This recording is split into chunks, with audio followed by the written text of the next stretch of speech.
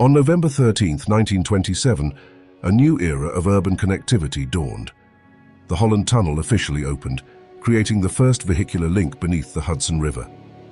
This monumental achievement forever changed travel between New York City and New Jersey. Before the tunnel, ferries were the only direct route, causing significant delays. Engineers faced unprecedented challenges, including the immense pressure of the riverbed and the critical need for ventilation. The project demanded innovative solutions.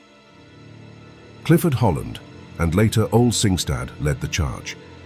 They employed massive shield tunneling machines, pushing through the riverbed with compressed air. This method was crucial for stability and worker safety in the challenging environment.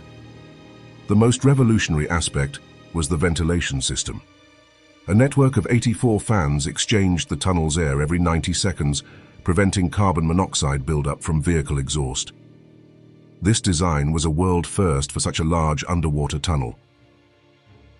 The Holland Tunnel immediately became a vital artery, facilitating commerce and commuting. It demonstrated the power of human ingenuity to conquer natural barriers. Its design principles influenced countless future underwater tunnels worldwide. This engineering marvel remains a testament to the vision and perseverance of its creators. It continues to serve millions, a silent workhorse beneath one of the world's busiest waterways.